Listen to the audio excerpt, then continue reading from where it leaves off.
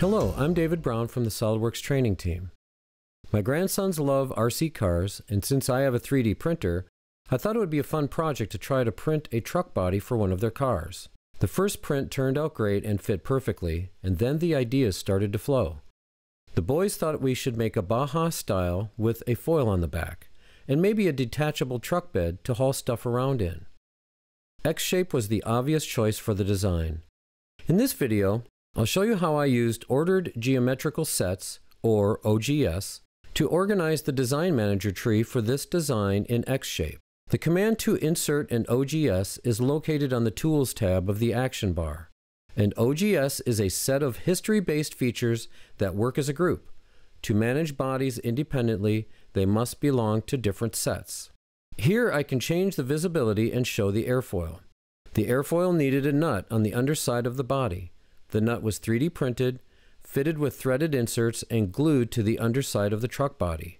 The airfoil could be attached and removed easily with machine screws.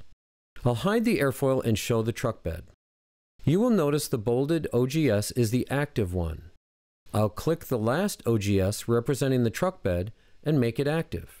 To design the truck bed, I inserted this OGS and began to insert features beginning with a plane that I could sketch the profile of the bed and have it parametrically related to the body. Now I can hide the body and focus my attention on the bed.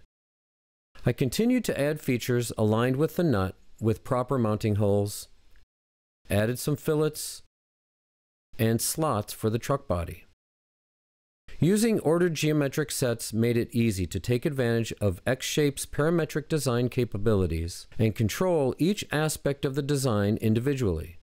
Different things that you can do with an OGS include applying color, deactivate or activate, hide and show, delete, and even rename an OGS. Thank you for watching this video. If you found this content helpful, visit the site below to access more content regarding X-Shape.